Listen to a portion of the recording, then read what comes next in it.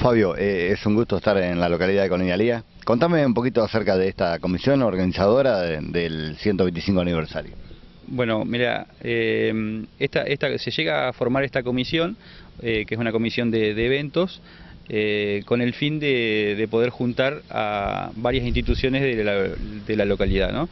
está formada por los dos clubes, por Atlético por Boca, por las dos iglesias, la católica y el centro familiar cristiano, eh, la escuela primaria y la escuela secundaria.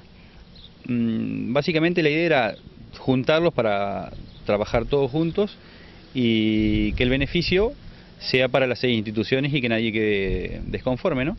Eh, eso se la, idea está hace tiempo, pero bueno, ahora se pudo concretar y bueno, vamos a ver qué, es lo que va saliendo. Ya está todo bastante organizado, eh, nos hemos puesto de, acuerdo en todos los puntos, que es lo más importante, y ahora falta que llegue el día y ponernos a trabajar, ¿no? Está bien. Más allá de que, de, que la gente por ahí, el visitante, va a tener la entrada gratuita, pero ¿con qué se va a encontrar adentro? ¿Con servicio de qué? ¿De cantina? ¿De todo un poco? Sí, sí, va a haber cantina, una cantina eh, amplia, con precios muy, muy populares, porque la idea no es eh, generar ingresos ni, ni ganancias, sino que la gente en su mayoría pueda acceder a lo que es un, eh, sándwich, choripán, gaseosas, eh, a lo que sea todo bebidas y todo lo, que está en la cantina. Va a haber eh, choripán, va a haber panchos, va a haber empanadas que se van a hacer en el lugar, va a ser que va a haber empanadas calentitas, la bebida va a haber toda la que se pueda consumir y,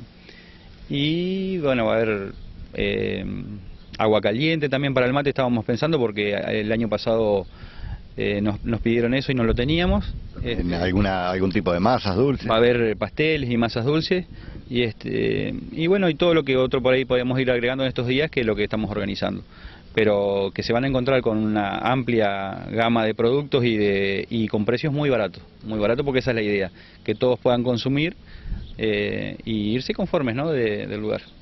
Eh, la gente por ahí que quiera tener comodidad deberá traerse su sillón, su mesita. Sí, sí, eh, es, un, es un predio bastante amplio, así que lo que se aconseja es traerse sillones y alguna mesita para estar cómodos, porque bueno, no va a haber asientos, los asientos son los que están ubicados en la plaza habitualmente, pero son para una concurrencia normal, no para por ahí para lo que es un aniversario o una fiesta tan grande.